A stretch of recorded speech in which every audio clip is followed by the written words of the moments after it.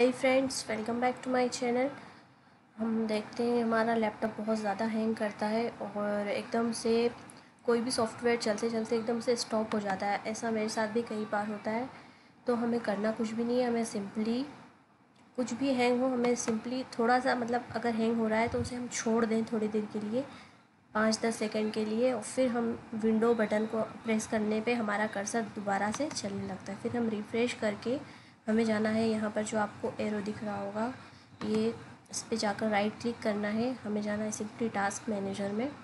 ये ओपन होने में थोड़ा सा टाइम लेता है, हमें वेट करना है, हमें क्लिक करे ही नहीं जाना है बार बार हमें थोड़ा सा सब्र करना है।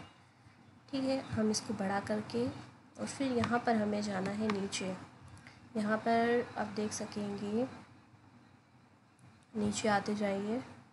आपको दिख रहा होगा कर्सर मेरा विंडोज़ एक्सप्लोर लिखा हुआ है। इस पर हमें क्लिक करना है और यहाँ से हम इसे रीस्टार्ट कर देंगे।